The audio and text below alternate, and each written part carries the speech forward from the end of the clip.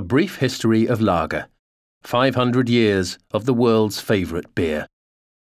Written by Mark Dredge. Read by Gavin Osborn.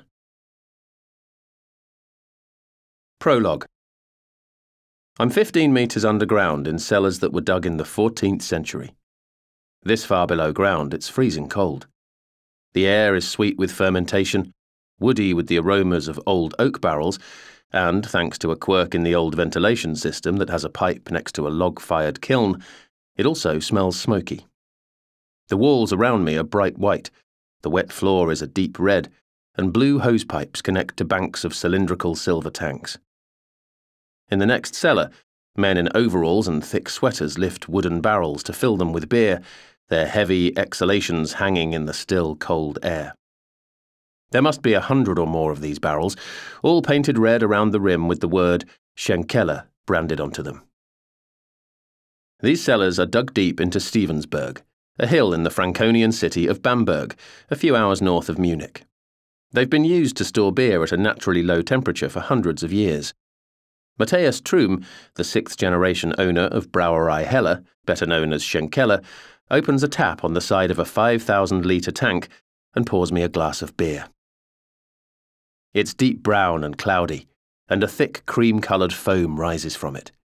It's smooth, robust, caramelized like charred dark fruits, and it's really, really smoky.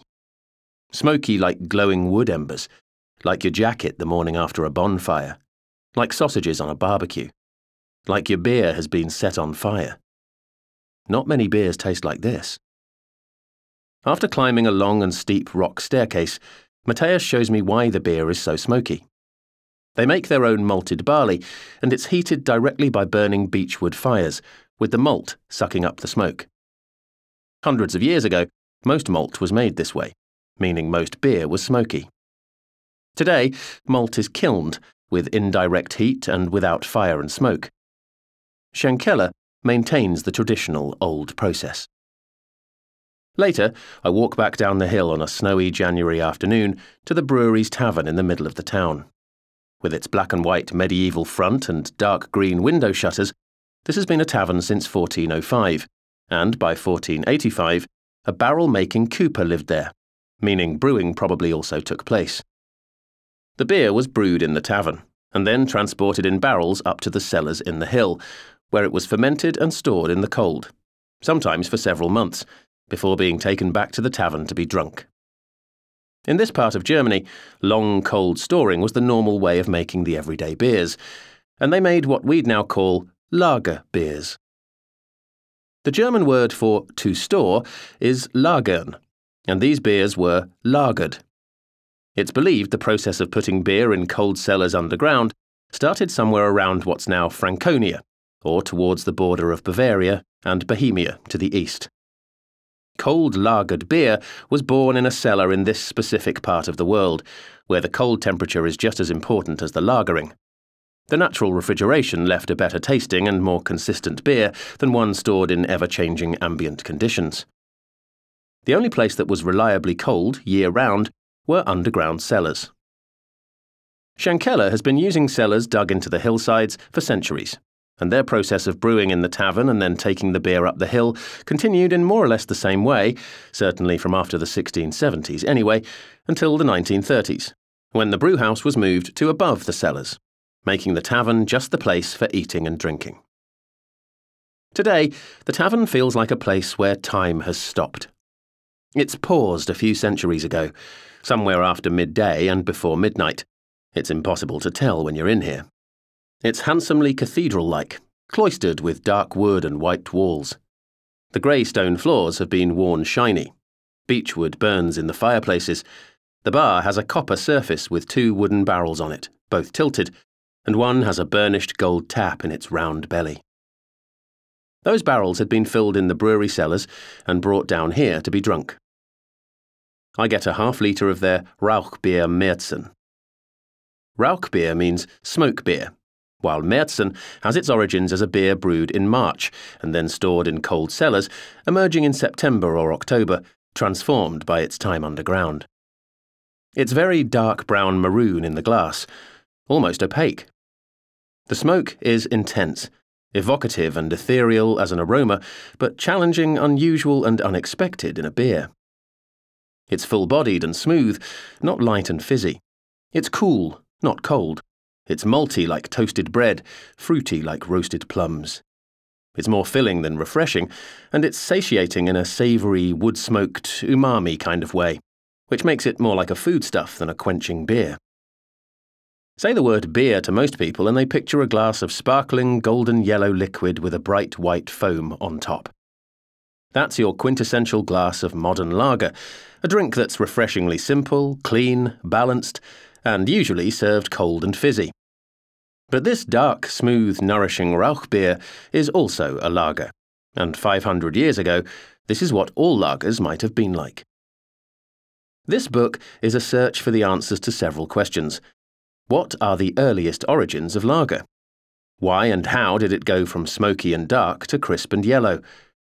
Why and how was pale lager able to become a drink that's brewed and drunk everywhere in the world?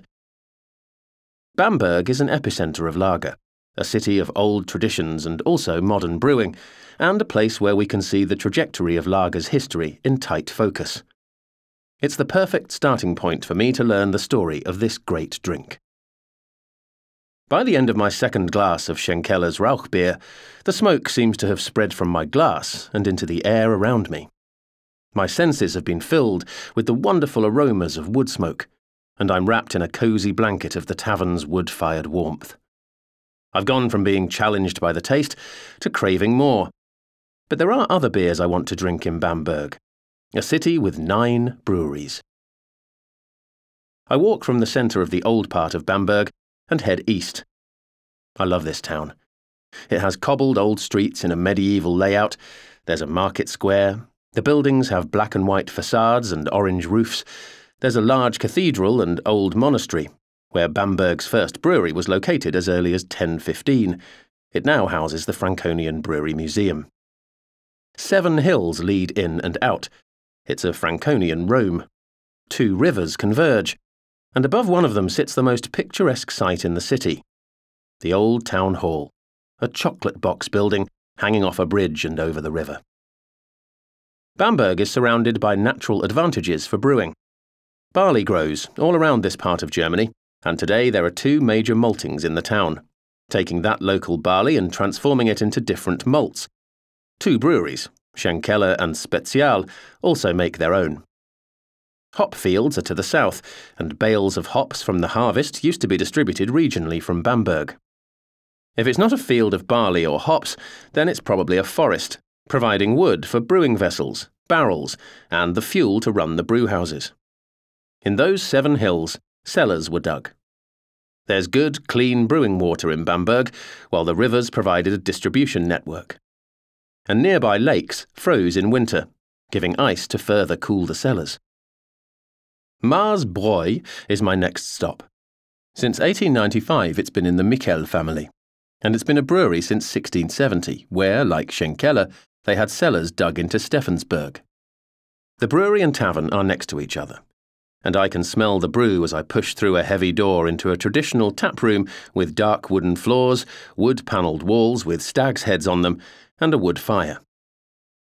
There are three wooden barrels behind the bar. I take a beer called Au, a name shortened colloquially from Ungespundet. A chunky glass of hazy amber lager with smooth white foam is placed in front of me. The man on the table next to me is served an Au at the same time, he lifts up his glass, looks at it intently, lovingly, admiring the glowing colour. He smiles, takes one gulp, then a second, sinking a third of his beer before smacking his lips and letting out a deeply satisfied and seemingly involuntary sigh of pleasure. My reaction is exactly the same. This is another beer that's not much like the lagers the world is familiar with. It's robust in both malt and hop, toasty, a little sweet, smooth, medium bodied, and bitter. If the smoky Schlenkerla Rauchbier Märzen tastes something like lager 500 years ago, this amber au represents the second evolution, the revolution of lager from the middle of the 1800s, as lager started to get lighter in colour and lost its smokiness. It's a wonderful beer. And it's easy to see how drinkers might have moved from the heavier and more filling, smoky dark lagers to this leaner and cleaner one. Lagers then transformed again, and by the end of the 19th century were even lighter and brighter, influenced by the Pilsner beers of Pilsen in nearby Bohemia, now the Czech Republic. Mahrs brew a Pils, so to drink through lager's chronological history, I order one of them. It's a brilliant golden colour, with a thick cloud-like white foam. It's elegantly fruity and floral, with aromatic German hops. It's gentle in carbonation, then dry and bitter. Anyone in the world could pick up this golden lager and understand it, even if it has a fuller flavour and aroma than most Pilsners. This kind of simple, refreshing pale beer is what lager is to most people, and there's an assumption that lager has always been this way. But those cold, fizzy yellow beers are a modern taste. Even in the middle and later decades of the 19th century, lager remained relatively dark and sweet. When lager was first brewed domestically in North America, it would have been dark and sweet. When it was first brewed in Britain or Brazil or Japan, it was dark and sweet. Those bright, light, golden brews were arguably pioneered not in its birthplaces of Bavaria or Bohemia, but in cities like St. Louis or Milwaukee or even Mexico City or Tokyo or Amsterdam. As it travelled and time passed, beer changed. For much of beer's 10,000 year history, it was seen as a kind of sustenance, an additional liquid supplement to a limited diet, and drunk more for nutritious value than to get you drunk, there was schnapps or cheap spirits for that. As food got lighter and more varied, and as people could afford a more diverse diet, we came to drink more for the pleasure of the liquid itself, and came to value something lighter. It's like bread. The dense, dark loaves of the 18th century were heavy with calories, but when we could get those calories from elsewhere, the bread got lighter. Heavy, darker beers transformed into golden, refreshing ones around the turn of the 20th century. Before lager was widely drunk, beer around the world was predominantly British influenced ale, which was typically strong in flavour and alcohol content. As lager became popular, it changed what beer was to most drinkers. This leads us to defining what lager is. Lager versus ale. All beer is beer, whether it's pale ale or stout, or pilsner or wheat beer or whatever else. Beer is the top of the family tree, which can be split into three, with many different beer styles branching out from each. Lager is a whole family of styles, including Pilsner, Pale Helles, Dark Dunkel, Smoky Rauch beer, dry Asian lagers. American lager is its own style, think Budweiser, as is the hoppy New Zealand Pilsner or the amber coloured lagers of Mexico. There are dozens of types of lager, and what specifically makes them a lager is the particular species of yeast used to brew it. That yeast is known as Saccharomyces pastorianus, or Saccharomyces carlsbergensis, which is named after a Carlsberg brewery, while Pastorianus is named after Louis Pasteur. We'll see why later. There are numerous strains of S. pastorianus, and in simple terms, the yeast prefers to work in cold conditions, and was once notable for being bottom fermenting, or lower fermenting which makes more sense when we look at top fermenting ale yeasts. Ale is another family, and within that family tree are stouts, like Guinness. There are white ales, golden ales, IPAs, red ales, brown ales, wheat beers, most Belgian beers. Like lager, it's a particular species of yeast, known as Saccharomyces cerevisiae, which makes it an ale. There are many strains of S. cerevisiae, and the yeast prefers to work in ambient and warmer conditions and would rise as thick foam to the top of the fermentation vessel, giving it the classification of top fermenting. Lager yeast wasn't visibly active on the top of the vessel, hence being called lower fermenting. The third family is more complicated, but we'll call it sour or wild, because it includes beers that are often intentionally sour. These will be made with wild yeasts. A primary one is known as Brettanomyces, and bacteria, the same kind of bacteria that makes yoghurt tangy, often in a mixed fermentation, a variety of different yeasts in the same beer. If lager is bottom fermenting and ale is top fermenting, then wild goes in all sorts of different directions and has a kind of hard to control and understand lawlessness. Once upon a time, all beer was mixed fermentation, meaning it was made with numerous strains of yeast and possibly bacteria. It was typically drunk young, a week or two after brewing, before sourness or unwanted funky flavours came through, it was only late in the 19th century that technology and science allowed for pure fermentation with a single strain of healthy yeast, giving a more useful distinction of lager and ale. For the purpose of this book, we can mostly forget about wild beer. At its simplest, three things define a lager a specific kind of brewing yeast, cold temperatures, and being long stored or long lagered. Early Bavarian beers were brewed in similar ways to British ales. Brewers mixed malt and water in a wooden vessel, drawing sweetness, colour, and flavour from the grain, before moving the sweet wort into a copper pan and boiling it with bitter and aromatic hops. Then the bittersweet liquid moved into large, open topped wooden tuns to ferment. This is where lager differed from ale, because it fermented underground in the cold, 8 degrees Celsius or 46 degrees Fahrenheit, for a week or two. Ale fermented quicker in warmer temperatures, and then it was transferred even deeper underground, where it was even colder. 0 to 4 degrees Celsius or 32 to 39 degrees Fahrenheit. It was there stored in large enclosed wooden lagering barrels, sometimes big enough to hold up to 5,000 litres in each, and it was lagered for three to ten months. When the beer was ready, it was poured into smaller wooden barrels to go to the tavern. Long storage wasn't unique to Bavaria, and British brewers had huge wooden vats, bigger than your house huge, capable of holding millions of pints in each, in which they left their ale for many months before transferring it to smaller wooden barrels to serve from. Storing beer was important to allow the flavours to mature, softening the rough edges of its rudimental production. The important difference between the old British ales and the Bavarian lagers is that the Bavarians deliberately tried to keep their beer cold in underground cellars. Before beer production became commercial, most cellars were just underneath houses, but as brewing increased in scale, the cellars came to be built in hillsides or beneath large areas of open land. The natural temperature of these cellars or caves was 8 degrees Celsius, or 46 degrees Fahrenheit ideal for the special kind of yeast that had evolved in the region.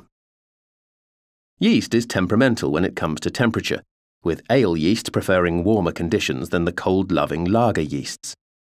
Historically, there was a mixed culture of yeast and bacteria in all beers, and so when brewers started digging cellars, a Darwinian survival of the fittest took over. The yeast that liked being cold thrived, while the warm loving yeasts and bacteria went into hibernation. This is especially important in relation to the bacteria, as at low temperatures it was less likely to turn a beer sour, just as food stays fresher in a refrigerator compared to when it's left out in the kitchen. Nature was then nurtured by the brewers, who deliberately selected yeast from good barrels of beer to be reused. Over time, the warm loving yeasts were domesticated out of the beers of Bavaria. The combination of special cold loving, bottom fermenting yeast and cold cellars became the standard way of fermenting beer in Bavaria. But only in and around Bavaria until well into the 19th century, with the rest of the beer brewing countries making ale styles in ambient temperatures. Then lager production, at this time it was still mostly dark and sweet, but no longer smoky, moved through Central Europe, where new kinds of lagers were made, like the particularly popular pale and bitter Pilsners. It's from there that lager brewing and drinking began to dramatically increase. It was made in Northern Europe, the US, South America, Southeast Asia, and Australia, and everywhere it went, it came to replace old style ales. By the end of the 20th century, something like 90% of all beer was lager. Today, lager is the world's most global drink, brewed in virtually every country. And that simultaneously makes it the most local drink with everywhere having its own lager. The world's local drink. We can effectively split lager's lifespan into three distinct phases. Pre industrialisation, for lager that means before the 1830s, which was a few hundred years of localized, empirical, and idiosyncratic production, often led by monks and kings, where the practice of storing it gave birth to cold lagered beers. Then, from the early 1830s to the late 1880s, were six decades of industrial, technical, and scientific developments, led by private brewers who became incredibly wealthy industrialists, building palaces and empires of liquid gold, who set the direction for the future of consistent, quality led, large scale global lager brewing, which would progress into the 20th century. The third phase came from the 1950s onwards. The world had changed, it had modernised, and beer's development was now shaped more by what was happening in the home than the brewhouse, with suburbanisation, supermarkets, car ownership, fridge freezers, televisions, and mass marketing all changing consumer habits. Then, as beer became global, the industry became marked by mergers, takeovers, and consolidation, and the beer itself became increasingly less diverse, leaving the simple pale lagers that we are all familiar with. Today's lagers are not like they were 500 years ago. The need for efficiency, volume, and speed has turned a process that took seven months into one of as little as seven days. It's made dark beers light, flat beers fizzy, sweet beers dry, cloudy beers clear, and those developments allowed lager to become the most loved of drinks, and yet also one of the most misunderstood. This is the story of how a beer brewed in a cold cellar somewhere in Bavaria became the world's favourite drink. Chapter 1 The Birth of Lager, the Prince of Beer. Emma, wake up! I yell, running into the bedroom too early on a Saturday morning. Emma, I found someone I have to speak to about the history of lager. And I start listing all the things I've just pieced together about this man's incredible family history. He's from the house of Wittelsbach, who have been making beer for over 700 years. His ancestors signed a law decreeing that Bavarian beer could only be made with barley, hops, and water. Another ancestor banned brewing in the summer. The family opened what became the most famous pub in the world. The wedding of this man's great great grandfather started Oktoberfest. His family had the monopoly of wheat beer brewing in Bavaria for over 200 years. One of their family homes had a big deer park next to it, which has since become the biggest beer garden in the world. One great uncle, King Ludwig II, who almost bankrupted Bavaria by building castles like Neuschwanstein, the same castles that would later inspire Walt Disney, also granted university status to what is now the world's foremost brewing school, housed in the world's oldest brewery. In the late 1800s, that same castle loving great uncle brought Lederhosen, the world's greatest beer drinking pants, back into fashion. And this man I want to meet brews beer in a castle. An actual castle. By the time I finish jumping around excitedly, Emma has sort of woken up. Lederhosen? What? she says, not having followed much of what I've just said. Who's he? Well, that's the problem. He's the Prince of Bavaria. Did he just say what I think he said? I'm sitting outside a 13th century castle, sweating in the summer's heatwave. There's a dried up moat beneath my feet, and above me the hot July sun is barely shaded by the huge old chestnut trees. I'm drinking my third glass of dark lager. There's medieval music ringing in my ears because a loud parade has just gone past on its way to a jousting tournament. I'm talking to a prince, and I'm generally feeling a bit overwhelmed so it takes a moment to process what I've just heard. Several months earlier, after my royal realization, I'd sent a speculative and hopeful email to König Ludwig Schloss Brauerei in Kaltenberg and requested a meeting with Prince Luitpold of Bavaria. He personally emailed me back with a suggested meeting date, and now I'm here, and I've been talking to the white haired and energetic Prince Luitpold for an hour, and we've had some beers and I'm pretty certain he's just told me that he has a copy of the original Bavarian beer purity law in his office. It's called the Reinheitsgebot. Reinheitsgebot, or something like that, and learning more about it is one of the main reasons that I'm here. It was a purity law that said beer in Bavaria could only be brewed with barley, hops, and water. Germany and great beer are synonymous, and it is this purity law that's arguably responsible for that reputation. It also, along with a later rule that prohibited brewing in the summer, had the knock on impact of making lager the beer of Bavaria. Lager, or bottom fermented beer, would be theirs alone for over 300 years before every other nation in the world would start to produce their own versions of this Bavarian drink. The Reinheitsgebot is one of the most important documents in the history of brewing. And he has a copy upstairs? Can I see it? I blurt out excitedly. The prince leads me through the courtyard of Kaltenberg Castle. Right now, there are people dressed in full suits of armour with maidens swooning around them, which makes this moment even more surreal. The prince lives in this castle, and he's brewed beer here since the 1970s, though I don't think the maidens are perpetually swooning around.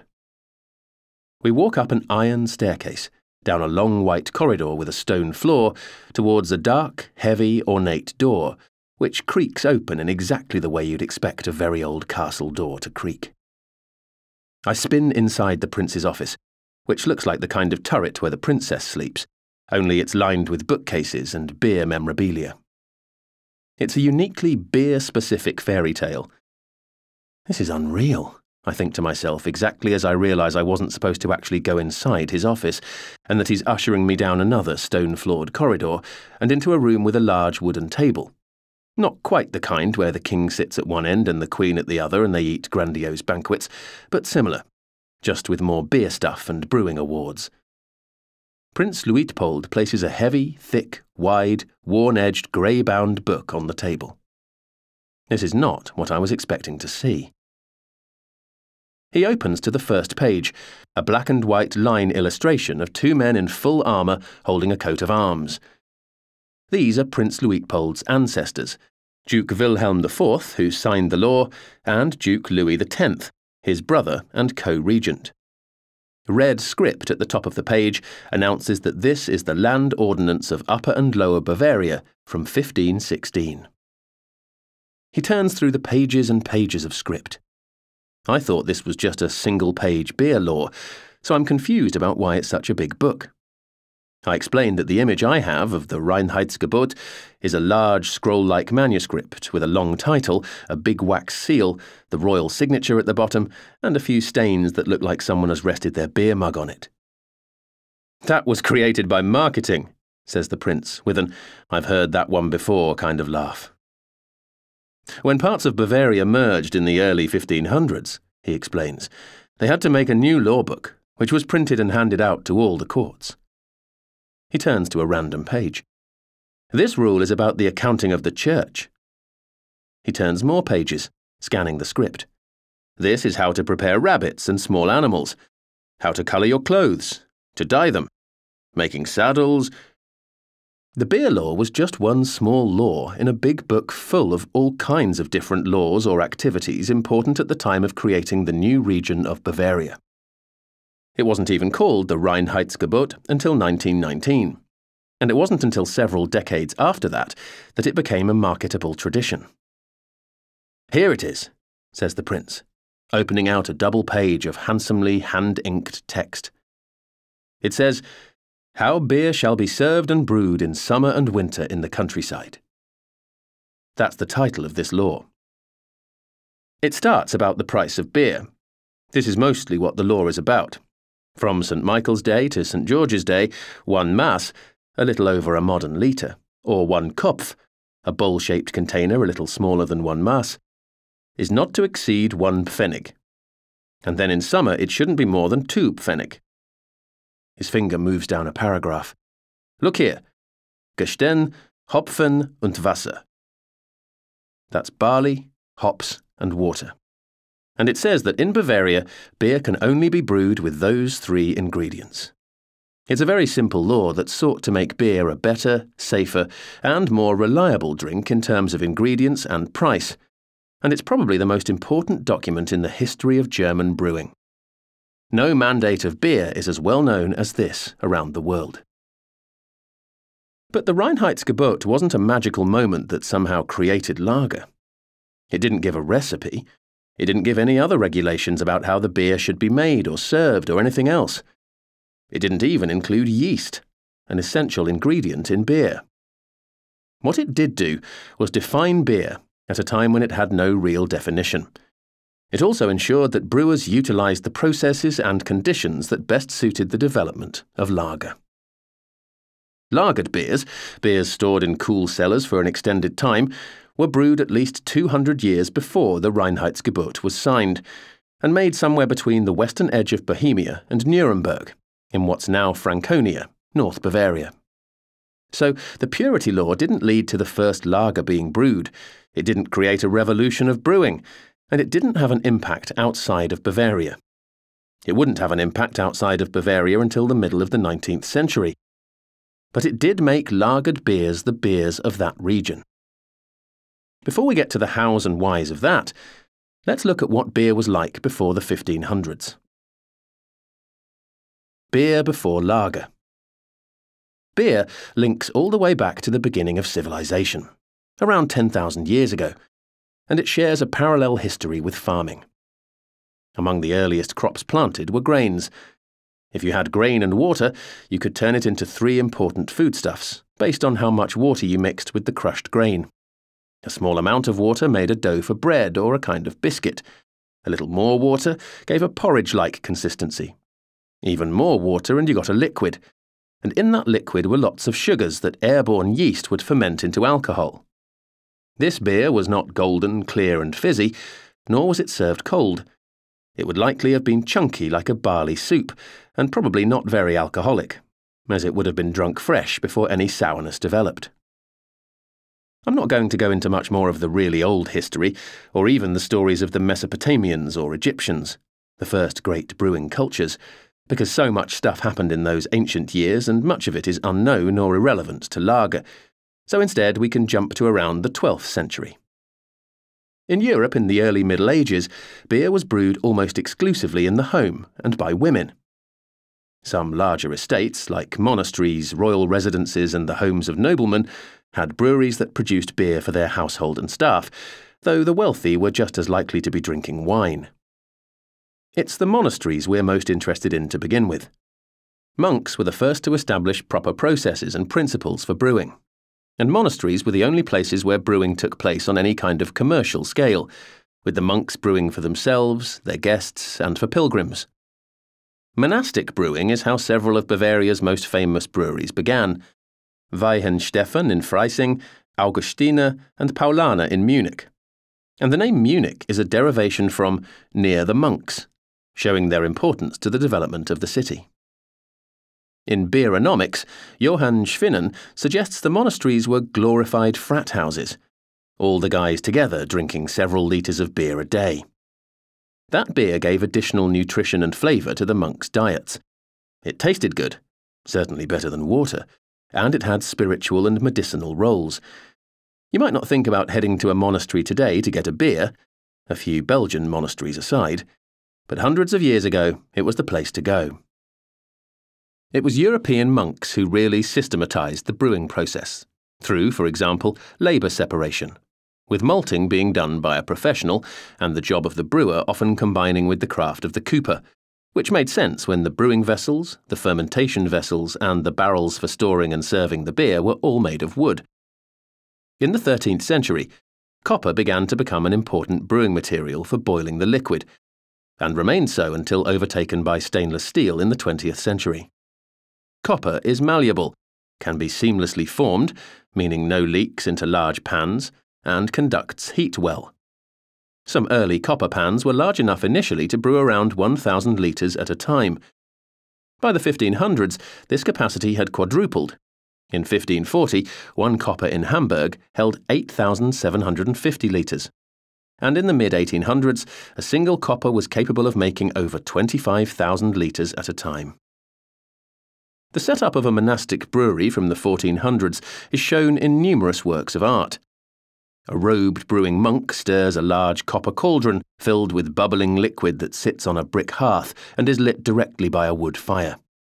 Next to him are wooden vessels shaped like buckets, in which the grain and water have probably been steeped. Somewhere nearby, though not always shown, are open wooden barrels for fermenting the beer, and there are closed barrels for storing or serving it. It was a simple process, and since then little has fundamentally changed. From around the year 1300, as towns grew and the monasteries couldn't produce enough beer, private breweries were founded. Leuven and Antwerp were primary brewing cities in Belgium. Gouda in the Netherlands had 350 breweries in 1480. Hamburg and Bremen were large brewing cities and also exported a large amount of beer. Hamburg, in particular, was the beer city of the 14th century, and almost half of all master artisans registered in the city were brewers. Brewers' guilds had formed too. Munich had one by 1280, as did other cities. And this is a clear sign of how brewing was beginning to professionalise and become profitable as a secular occupation. Beer then would have varied enormously, but several basic types existed, with much regional variation. Brown or red beer was made with roasted barley malt and would likely have been sweet, tart, and smoky from the malt, which was made over wood fire. White beer was typically made with air dried barley malt, so was pale and not smoky, as well as lighter in colour, sweet, and somewhere between tart and acidic. And wheat beers would have been brewed mostly with wheat, probably making them quite thick and sweet and also tart. Beer didn't always contain hops, and other herbs and spices were often used in their place, especially, around the Middle Ages anyway, in the wheat beers of Northern Europe.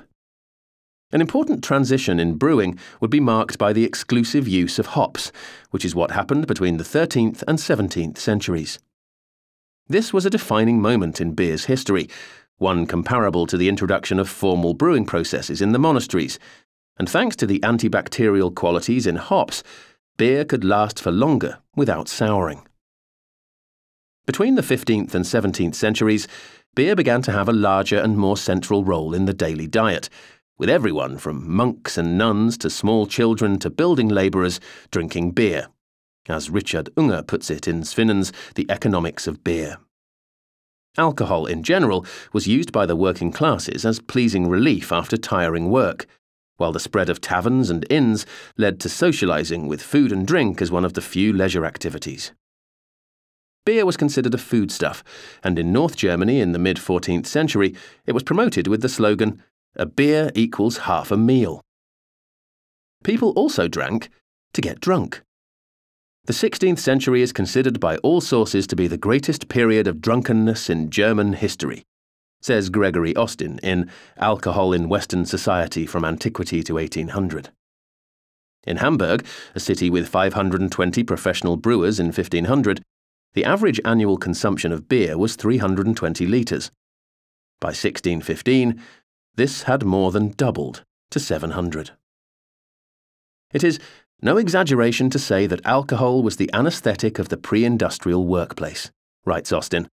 Indeed, far from undermining productivity, it may even have boosted output by inuring the workforce against fatigue of working from sunup to sundown in conditions of unspeakable misery.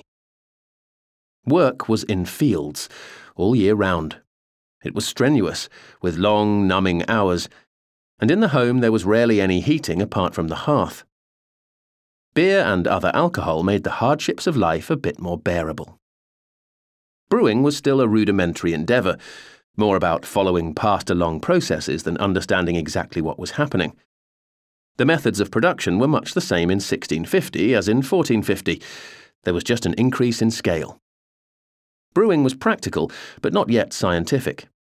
But enough was known about it to give us some clues about production, specifically in relation to how lager and lagering developed, and the awareness of specific yeast types. The brewing ordinances of Nuremberg of 1303 to 1325 indicate that a dark hopped, bottom fermented beer was brewed in Franconia at the beginning of the 14th century. And that bottom fermentation had probably been known in Bavaria since the beginning of the 15th century, possibly brought there from Cheb on the Franconia Bohemia border. It's believed that bottom fermentation spread down through Bavaria, and by the 15th century, it was becoming a more standard way of brewing. In 1420, Munich declared that all beer must be well fermented by top fermentation and not sold for seven days. which tells us two things. They distinguished between top and bottom fermentation, and they sold top fermented beer young, but not too young. That same year, a brewer got permission to use bottom fermenting yeast, and that gives us one of the earliest known mentions of bottom fermenting yeast. In Hamburg in 1483, there was a regulation that said beer had to leave the brewer's cellar within eight days of being put into barrels, reduced to three days in summer. This was to ensure a proper fermentation, but also that it be drunk before it went sour. Again, we learn two things. They understood that warm weather made the beer go sour quicker, and because of the short timings, we can assume they were brewing top fermented beers at ambient temperatures. The city of Nabburg, east of Nuremberg, gives us another early mention of lager yeast, as Corran notes in A History of Brewing. One brews the warm or top fermentation, but first in 1474, one attempted to brew by the cold bottom fermentation, and to preserve part of the brew for the summer. This yet again tells us two things. They know that bottom fermentation and cold work together, and they knew to store the beer. This is one of the first references to mention the yeast, the cold temperature, and maturation, the three key processes in lager brewing. All of this leads to one big question. Why did they need a purity law at all? Barley, hops, water, and ox bladder? The Reinheitsgebot wasn't the first German beer purity law. In 1156, a decree was passed in Augsburg by Emperor Friedrich Barbarossa, who's not one of Prince Luitpold's ancestors, declaring that a brewer who makes bad beer or pours an unjust measure shall be punished. His beer shall be destroyed or distributed at no charge to the poor. In 1293, the city of Nuremberg instituted a purity law with several other cities adding them in the 14th century. In 1363, Munich City Council began to supervise and regulate brewing throughout the city, partly to make sure beer was produced within the city and so could be taxed, but also to ensure it was healthy. In 1447, the Munich Purity Law ordered that brewers may use only barley, hops, and water for their beers. This has become one of the world's longest running food laws. In 1469, a Regensburg ruling said only barley malt, water, and hops for beer.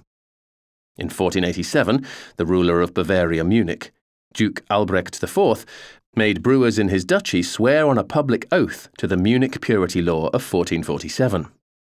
This was the first major impact that the House of Wittelsbach had had on beer quality.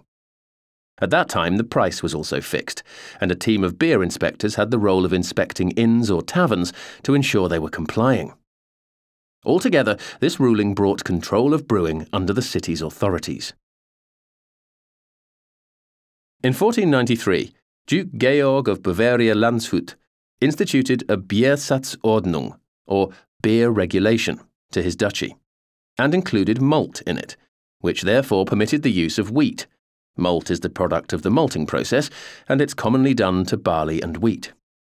His 14 page law was much more detailed than the 1447 or the 1516 laws, and it covered beer, wine, and mead, and looked to control the ingredients, the quality, the price, and the taxes, and even included details like how to fill a barrel with beer. The law excluded yeast from the ingredient list, but it didn't leave it out completely explaining how brewers could sell their yeast, known as germ, and there was a distinction made between beer yeast and wine yeast. The punishment for not following any of these rules was pain of chastisement of body and goods. In 1503, Duke Georg died with no heir, which triggered the Landshut War of Succession.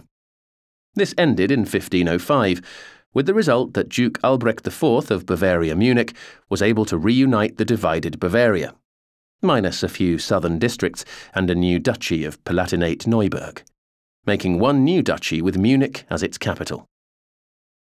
When Duke Albrecht IV died in 1508, his 15 year old son, Wilhelm IV, ascended the throne of the newly reformed Bavaria, and over the next years would work on a new law book.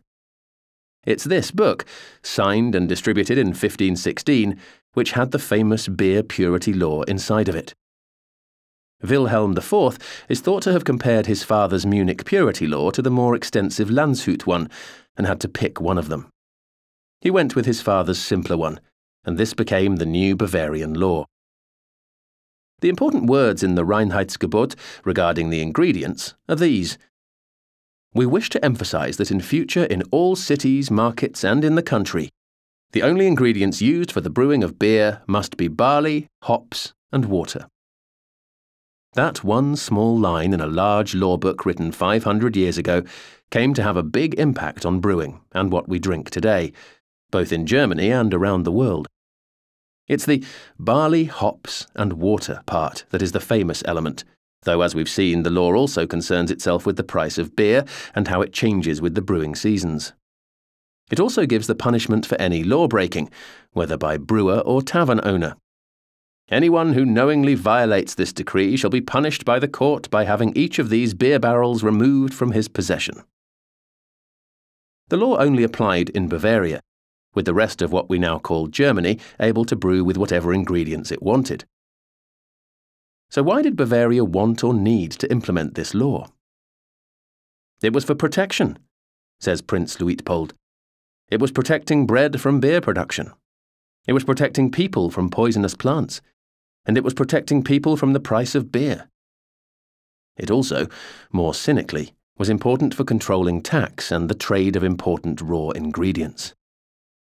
By declaring that only barley was to be used in beer, the law saved wheat for baking bread, creating a more stable price for two staple foodstuffs in the early 16th century. In Bavaria, beer is not drunk, it was said. Beer is eaten.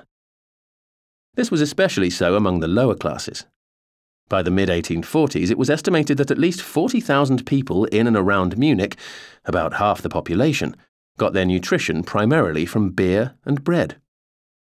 By choosing barley, the lawmakers were effectively selecting bottom fermentation, as barley beers were typically made with bottom fermenting yeast and stored in cellars. The protection against poison was pertinent, because beer was an everyday and all day drink of Bavaria, where the combination of water, barley, and hops tasted better and was more nutritious and potentially less contaminated than water alone. So a guarantee of quality for this staple liquid was vital. The use of hops in beer was one of the most important events, says Richard Unger in Beer in the Middle Ages and the Renaissance. When brewers learned to do this on a large scale, it transformed the industry because alongside the bitterness and flavour hops give to beer, their antibacterial qualities meant that a hopped beer would last longer than an unhopped one. Hops allowed beer to become one of the few foods that would keep for months without becoming inedible. And being left for months was important for the production of lager. Before hops, anything could have gone into a brew, and many different ingredients were added to create a more powerful taste. Bog myrtle, mugwort, yarrow, wild rosemary, carrot seeds, lavender, acorns, juniper, marjoram, thyme, plums, fir rind, burnet, elderflowers, rose hips, honey, ginger, gentian roots, bitter oranges, lemons, oregano, and cardamom, often used with hops as part of a larger spice mix, known as gruit. This spice mix was tightly controlled in Northern Europe, and brewers had to buy it from a central gruit merchant. Tavern owners were also known to spice their beers using anything from chicory to caraway seeds if they were turning sour. But not all the things added to beer were delicious.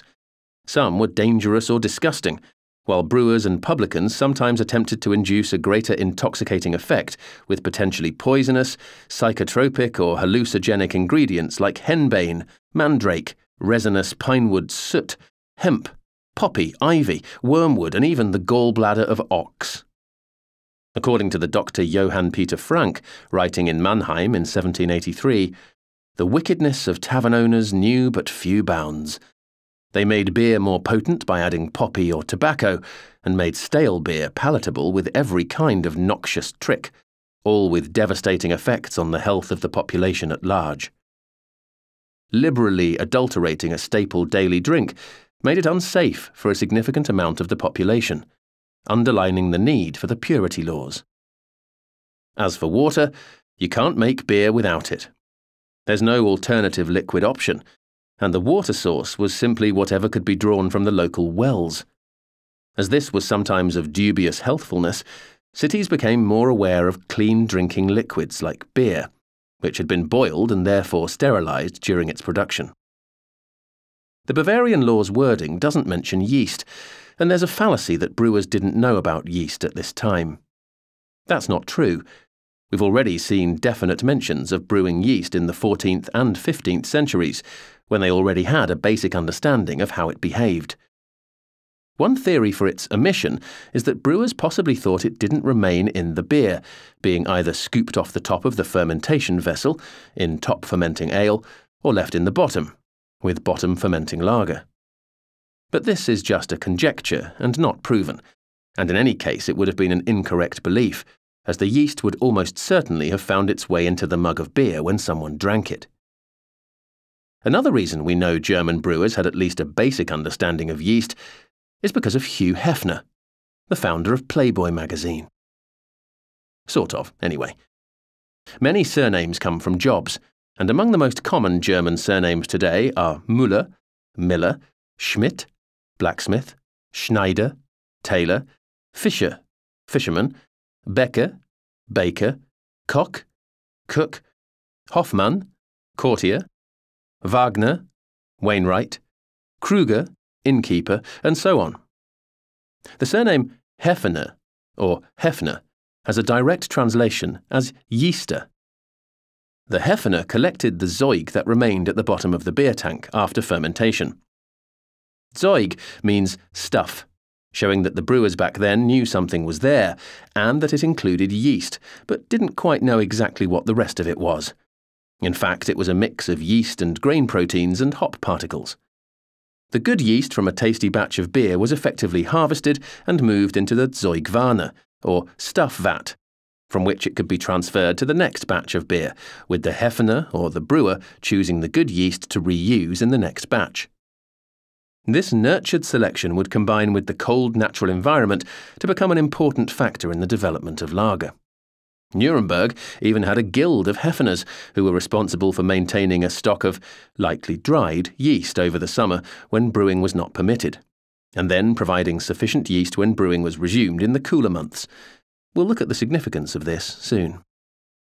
In 1551, yeast was included in an updated version of Bavaria's beer purity law, but it would be more than 300 years before scientists began to properly understand brewing yeast, how it worked, and how to control it. When finally they did, it would become the greatest discovery in beer's 10,000 year history. We'll come to that later. Lager existed before the Reinheitsgebot was signed, but so did many other kinds of beers in the region. From 1516, that law ensured that the ingredients and processes combined to make lager the beer of Bavaria. But only of Bavaria. Nowhere else where beer was made in significant volumes, Britain, the Netherlands, North Germany, Belgium, could you drink what we'd now call lager, making it a minuscule percentage of all beer drunk in the world. But by the 500th anniversary of the Reinheitsgebot, lager would account for 90% of all beer in the world, with each of those countless different lagers able to be traced somehow back to Bavaria and the law issued by the House of Wittelsbach in 1516. What the Reinheitsgebot did was define what a beer was in Bavaria, and by association what it couldn't be. The purity law really was an important thing, says Prince Luitpold of his ancestors' contribution to the history of brewing, and it came without them knowing that that was important. This is really just a law book. That's kind of an amazing thing.